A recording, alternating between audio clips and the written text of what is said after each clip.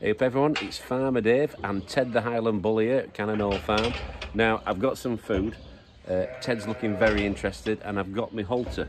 Uh, we're gonna get we're gonna get Ted back on his halter. Uh, we're gonna uh, give him a little walk and uh, make sure he hasn't forgotten his manners. Are you up for it Ted? I think so.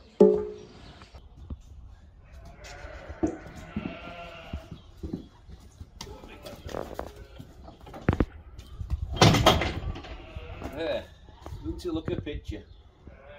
Okay, that wasn't too bad. Ted responds to food. A few uh, beef nuts, and he's anybody's basically. Isn't that right, buddy?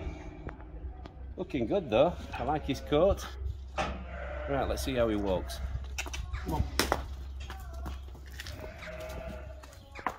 Well, as you can see, he hasn't been on a halter I think since the Highland Show, really. Uh, no, Penistone Show.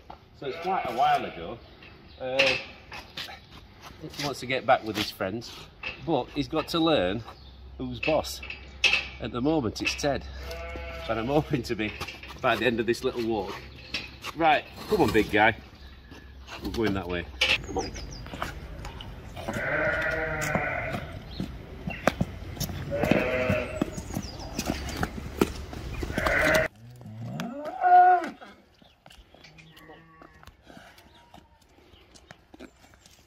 Now I know for a fact Ted would be would absolutely love being out in that grass field, but it's winter. It's far too muddy for him, so he's going to have to just make do with uh, little walks every now and again. And I've got to say, he's walked lovely. To say he hasn't been walking, uh, well, he hasn't been on halter now for a couple of months. Uh, he's uh, straight back into it. He's a gentle giant, aren't you, pal? That's it. He's looking at the sheep the good thing about this is it gets them used to all sorts of conditions. When you're at these shows, uh, they see animals they've probably never even seen before. Pigs, sheep, they get tractors going past them. Uh, all the public as well. You know, umbrellas, they can spook animals. So this is perfect. If anything, it could be a little bit noisier, but he's looking at all the cows. So that ain't one of yours, I'm afraid. That's one of Gorka's. You'll have to make do with the Highlands, pal. Anyway, come on, walk on. We've got a pen of alpacas there. You won't come across those very often, will you, pal? And then these are his sisters.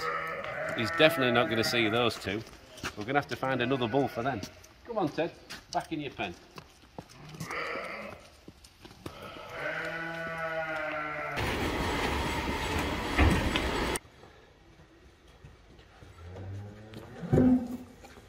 Stand. And